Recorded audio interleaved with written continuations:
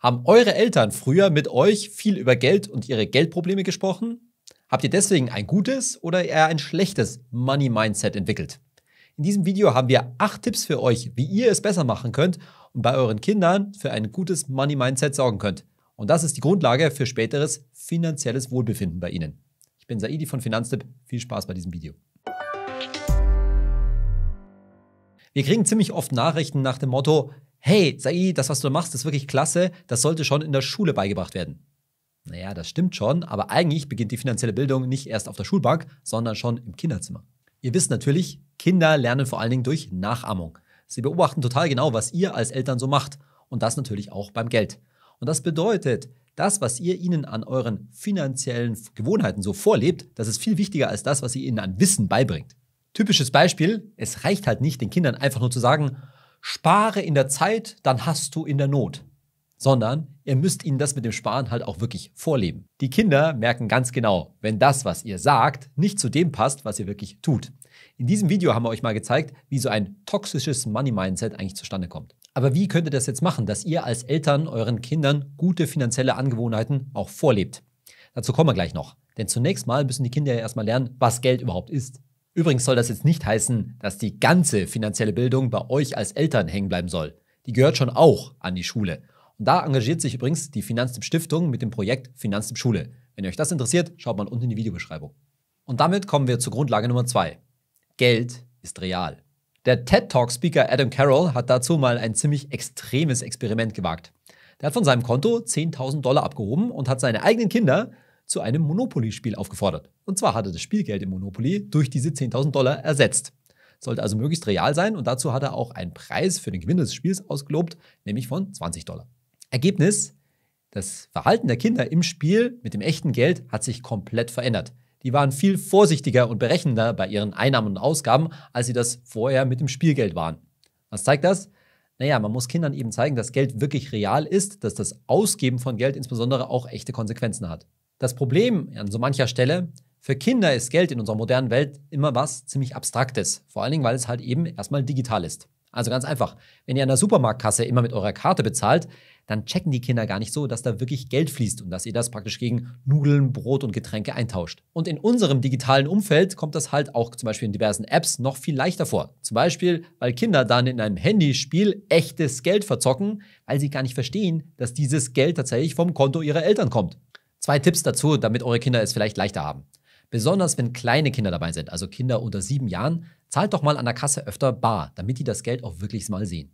Zweiter Tipp, Gerade wenn eure Kinder klein sind, bringt sie mal wirklich in Berührung mit dem Geld. Mit anderen Worten, lasst die Kinder mal die Münzen beim zum Beispiel Eiskaufen auf den Tresen legen oder die Münzen ins Sparschwein stecken.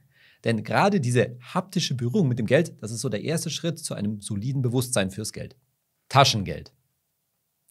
Beim Taschengeld stellt sich natürlich nicht nur die Frage, ab wann Kinder Taschengeld bekommen sollen, sondern auch wie viel. Und das ist natürlich nicht nur eine pädagogische Frage für viele Eltern, sondern auch eine finanzielle. Das Bundesfamilienministerium hat ein paar Empfehlungen rausgegeben. Bis neun Jahre schlägt es voll, sollen die Kinder maximal drei Euro pro Woche bekommen. So ab 10 kann man dann von Woche auf Monat umstellen und sollten es ab 10 vielleicht schon so 16 Euro im Monat sein. Und mit 18 dann schon eher so 60 bis 80 Euro im Monat. Und da seht ihr schon, das ist natürlich dann eben eine finanzielle Frage für die Eltern. Sinn macht Taschengeld natürlich auf jeden Fall. Denn es ist halt das erste eigene Geld, das die Kinder haben, bei dem sie dann lernen können, dass sie entscheiden können, ob sie es ausgeben wollen oder eben ansparen wollen. Und der eigentliche Betrag ist nicht so wichtig wie die Regelmäßigkeit. Also sie sollen natürlich lernen, dass sie dieses Geld auch wirklich regelmäßig bekommen und deshalb im Zweifelsfall nehmt lieber einen niedrigeren Betrag, den ihr auch wirklich regelmäßig ausgeben könnt. Bei kleineren Kindern ist es so, die können halt noch nicht so weit in die Zukunft denken, deswegen macht da eine wöchentliche Auszahlung schon mehr Sinn. Bei Teenagern, die können dann schon lernen, etwas mehr vorauszuplanen, deshalb das monatliche. Egal, mit welchem Betrag beim Taschengeld ihr anfangt, spätestens dann ist euer Kind bereit, die nächste Grundlage zu lernen. Freude am Sparen. Kleinkinder sind natürlich von Natur aus ungeduldig und neugierig. Wenn die etwas haben wollen, dann wollen sie es meistens in aller Regel sofort. Und erst mit so drei Jahren beginnt da die sogenannte Impulskontrolle. Die ist natürlich total wichtig, weil wir wollen ja nicht, dass sie jeden Ball automatisch hinterherrennen und damit einfach auf die Straße rennen. Und in dem Alter sind die Kinder dann auch meistens so weit, das Sparen langsam mal zu lernen. Und dafür braucht es in aller Regel ein Sparziel, und zwar was möglichst Konkretes. Beispiel, es könnte zum Beispiel eine Zeitschrift sein, die der Kleine oder die Kleine im Supermarkt sieht. Und dann könnte man sagen, anstatt dass die die jetzt sofort bekommt, sagt, Morgen bekommst du Taschengeld und dann kannst du dir die Zeitschrift davon kaufen. Und je älter die werden, desto größer werden natürlich auch die Wünsche und damit kann man dann auch längerfristige Sparziele verbinden. Zum Beispiel, vielleicht ist es irgendwie ein besonderer Modeschmuck, der, sagen wir mal, 30 Euro kostet. Und das kann man sie dann auch selbst rechnen lassen. Naja, wenn das jetzt 30 Euro kostet, du bekommst wie viel Taschengeld im Monat? 15 Euro, genau. Wie lange brauchst du dann? Wie lange musst du sparen, damit du das leisten kannst? Zwei Monate. Mhm, genau. So ein Sparziel beinhaltet dann schon eine ganze Menge. Zum einen natürlich die nötige Geduld dafür aufbringen, dann auch die Vorfreude natürlich auf das, was da kommt und auch das zu lernen, dass das Geld eben einen Gegenwert hat, der dann eben auch eine Eigenzufriedenheit herstellt. Und übrigens, auch da geht es wieder ums aktive Vorleben. Wenn ihr selbst Sparziele habt, dann sprecht mit euren Kindern drüber und macht das Sparen, also dass ihr dafür spart, euren Kindern auch sichtbar. Machen wir mal ein Beispiel. Sagen wir, ihr plant einen Ausflug in einen Freizeitpark. Dann stellt ihr ein Glas auf und das beschriftet ihr auch. Zum Beispiel 10. August, Freizeitpark sowieso, Eintritt für drei Personen, 60 Euro. So, und dann befüllt ihr dieses Glas nach und nach mit Münzen und so weiter. Auch wenn ihr euch den Betrag vielleicht auch auf einmal leisten könntet. Aber dann lernt das Kind, wie das halt langsam auch wächst, äh, die Münzen da in dem Topf, kann sich mehr drauf freuen weiß auch, oh ja, da muss man was dafür zur Seite legen. Ob ihr dann wirklich an der Kasse vom Freizeitpark das Glas einmal umdreht, das könnt ihr euch noch überlegen. Aber auf jeden Fall, wenn ihr dann den Eintritt, vielleicht zumindest bar bezahlt, hat das Kind bestimmt einen ganz anderen Bezug dazu, weiß, wie lang das und gefühlt auch hart war, diesen Betrag anzusparen. Und ganz ähnlich könnt ihr es auch mit dem Taschengeld machen. Ihr könnt euer Kind selbst entscheiden lassen, wie viel es vom wöchentlichen oder monatlichen Taschengeld jetzt direkt ausgeben möchte und wie viel davon, zum Beispiel ein Sparschwein, wandern sollte fürs nächste große Spielzeug. Mit der nächsten Grundlage beim Thema Geld für Kinder gehen wir auf ein ganz neues Level. Kinderdepot. Auch für eure Kinder geht es ja nicht nur ums kurzfristige Sparen, sondern auch um den langfristigen Vermögensaufbau. Und auch da sollen sie so einiges lernen.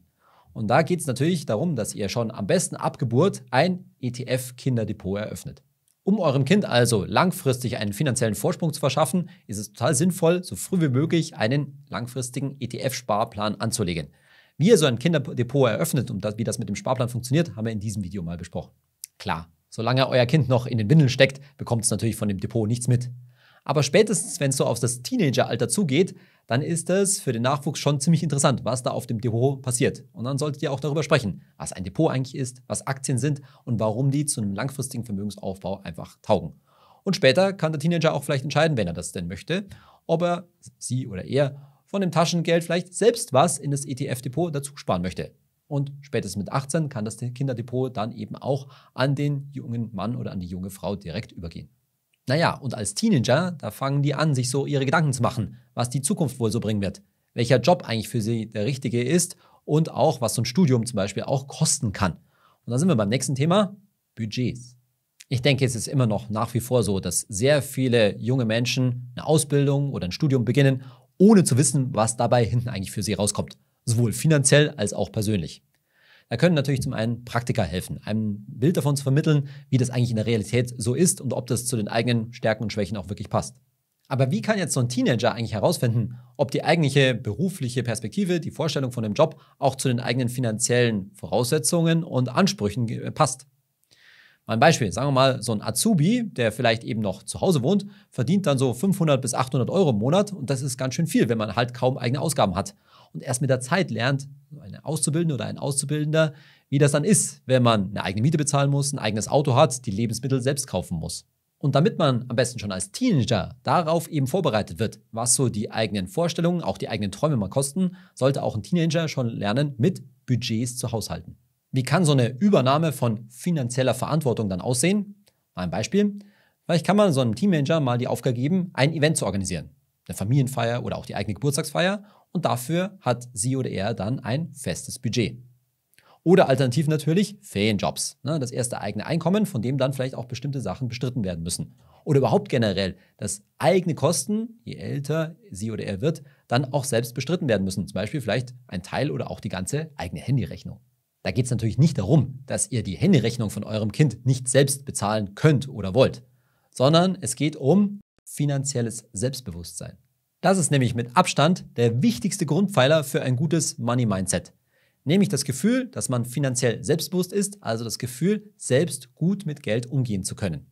Und dieses finanzielle Selbstbewusstsein, das haben auch Studien gezeigt, das wächst mit finanzieller Verantwortung. Also je mehr man selbst tatsächlich und je früher man mit Geld zu tun hat. Das hat also ganz viel mit Finanzkompetenz zu tun. Also wie man sich mit diesen Dingen auskennt und das lernt man halt letztendlich nur durchs praktische Tun. Und das gleiche gilt natürlich zum Beispiel auch in eurer Partnerschaft, dass halt da auch das Umgehen mit Finanzen möglichst nicht asymmetrisch verteilt ist. Mit anderen Worten, dass sich nicht nur einer oder eine in der Paarbeziehung ums Geld kümmert, sondern immer beide, damit beide auch finanziell kompetent sind. Genaues dazu haben wir mal in diesem Video mal erläutert. Und dieses finanzielle Selbstbewusstsein, das ist so wichtig, denn das wirkt sich später auf so viele Entscheidungen aus, die schon einen großen Unterschied dafür machen, ob ich letztendlich ein glückliches Leben führe oder nicht. Da geht es um die Jobwahl, habe ich da die richtigen Ansprüche, kann ich das richtig einschätzen, um Gehaltsverhandlungen, wie setzt sich das an, wo ordne ich mich ein vom Gehalt her? Und auch natürlich größere Entscheidungen, wie zum Beispiel eine Familiengründung oder natürlich ein Hausbau. Und für dieses finanzielle Selbstbewusstsein gibt es einen ganz entscheidenden Faktor, nämlich den Umgang mit finanziellen Problemen. Klar, es läuft nicht immer alles glatt und natürlich können Eltern und Familien auch mal in finanzielle Engpässe kommen. Und das ist dann für euch so ein gewisser Drahtseilakt. Einerseits wollt ihr natürlich, dass die Kleinen sich keine großen Sorgen machen, dass die sorgenfrei aufwachsen können. Aber auf der anderen Seite sollen die natürlich auch kein verzerrtes Bild der Realität, sage ich mal, bekommen. Also ist die Frage, was meint ihr dazu? Sollte man mit Kindern offen über finanzielle Probleme, also eigene finanzielle Probleme, sprechen? Wir sind der Meinung, Sprecht finanzielle Probleme ruhig mal an, aber es kommt natürlich auf die richtige Wortwahl an, also mit anderen Worten, wie ihr so ein Problem richtig framet. Klassisches Beispiel, Kind will im Laden ein Spielzeug haben. Typische Reaktion von Eltern, die vielleicht ein bisschen knapp bei Kasse sind, ah nee, das können wir uns nicht leisten. Aber so etwas kann ein Kind vielleicht nicht richtig einordnen. Möglich wäre zum Beispiel ein Satz, wenn wir das jetzt kaufen, dann können wir uns aber die neuen Schuhe, die du vielleicht auch gerne hättest, nicht leisten. Oder ihr sagt etwas wie, das Geld, das ich dafür vorgesehen habe, dir das Spielzeug zu kaufen, das haben wir diesen Monat leider schon ausgegeben. Aber nächsten Monat können wir uns das dann leisten. Mit den richtigen Worten könnt ihr auch echte Engpässe ganz gut kommunizieren. Zum Beispiel könnt ihr sagen, du, leider läuft es in Deutschland gerade nicht so gut und für uns ist jetzt zum Beispiel sowohl das Heizen als auch das Autofahren richtig teuer geworden. Das wird bestimmt wieder besser, aber deshalb können wir jetzt dieses Wochenende leider keinen Ausflug machen. Wenn die Kinder fragen, dann könnt ihr auch die komplizierten Hintergründe dazu ruhig erklären. Aber in vielen Fällen wird es schon reichen, da eben einen gewissen Kontext zu geben, um zu erklären, warum das jetzt mit dem Ausflug eben nicht geht. Ich hoffe, wir konnten euch ein paar Tipps geben, denn uns ist es daran gelegen, dass da eine finanziell selbstbewusste nächste Generation heranwächst. Und dazu können wir alle als Eltern etwas beitragen. Wie war das denn bei euch? Haben eure Eltern euch da das richtige Handwerkszeug und das richtige Money-Mindset mitgegeben? Und wie seht ihr das mit den Tipps für die finanzielle Erziehung eurer Kinder? Schreibt es doch mal unten in die YouTube-Kommentare. Ich freue mich da über jede Anmerkung und natürlich über jeden Like für dieses Video. Bis zum nächsten Video, euer Saidi.